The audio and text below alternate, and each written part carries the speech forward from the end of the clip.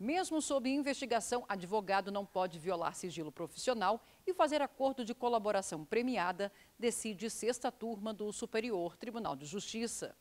O colegiado anulou a colaboração do advogado, as provas e as denúncias decorrentes dela em ação penal contra a empresa de transportes coletivos Pérola do Oeste, para a qual o advogado trabalhava.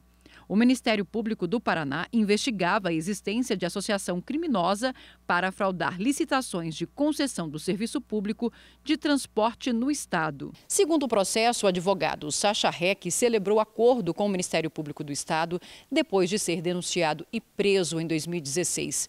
O acordo deu suporte a novas investigações e foram adicionados à denúncia os nomes de dois ex-administradores da empresa, os quais recorreram ao STJ para anular a colaboração do advogado.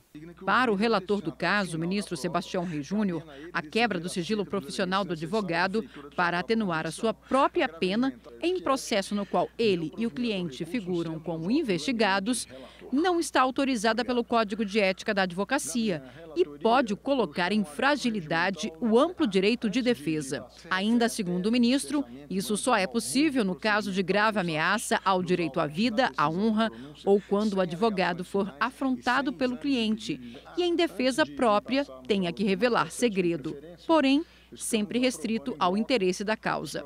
Desta forma, por maioria, a sexta turma estabeleceu que é inadmissível a prova proveniente de acordo de colaboração premiada, firmado com violação do sigilo profissional de advogado.